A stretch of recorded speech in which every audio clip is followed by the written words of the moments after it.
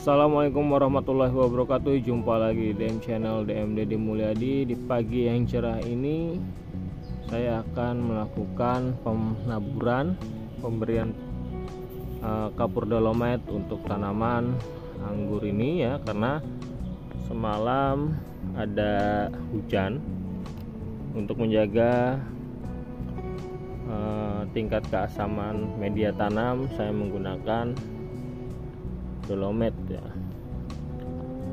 Untuk dosisnya nanti kita sesuaikan saja. Ini saya tabur biasanya dikocor ya. Karena memang setelah diguyur hujan jadinya kita tabur saja. Bagi teman-teman yang belum subscribe silahkan subscribe terlebih dahulu untuk perkembangan channel DM Deddy Mulyadi. Dan bagi teman-teman yang sudah subscribe mudah-mudahan rezekinya selalu dilancarkan. Amin amin ya alamin baik uh, langsung aja kita melakukan pemberian kapur dolomite untuk jenis anggur Jupiter ini. Nah kondisinya ini sedang membawa bunga teman-teman ya. Jupiter ini setelah pemangkasan ini berarti hari ke 13 nah, review video 11 hari HSP nya sudah ada sudah tayang. Ini hari ke 13 kita perlu treatment tambahan karena memang setelah diguyur hujan ya. Jadi nah ini uh, dolomite nya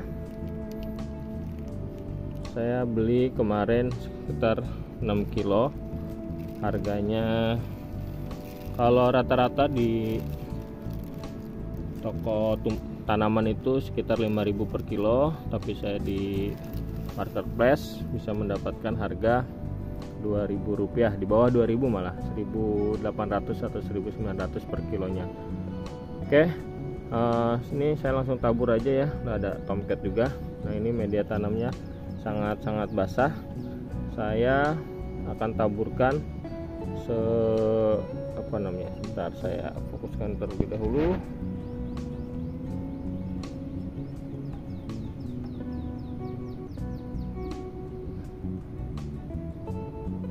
nah ini ya.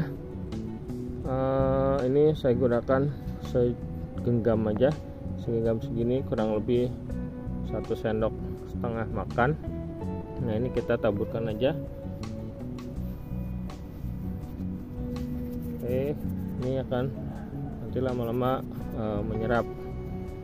Kita jaga pH nya agar netral ya karena hujan ini membawa uh, zat asam kalau dirasa kurang ini nggak apa-apa tidak akan overdosis kalau untuk dolomet ya. Ini sangat membantu. Kita tambahkan aja lagi jadi kurang lebih ada dua genggam. Kita tabur aja. Nah ini harapannya ya menjaga pH eh, tanah agar tetap netral saya memang tidak mempunyai alat eh, pH meternya tetapi ya kirologi aja lah. Ini mudah-mudahan bunganya tidak rontok ya setelah semalam diguyur hujan. Nah ini ada yang memang besar juga. Bunga kecil yang mudah-mudahan tidak PHP ya teman-teman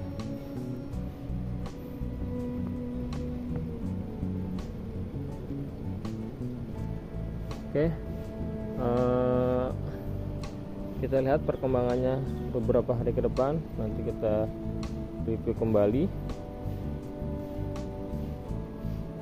pertumbuhan dari anggur Jupiter ini.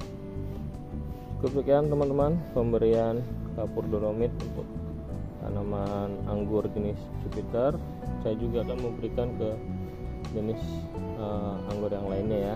Hal yang sama saya uh, berikan.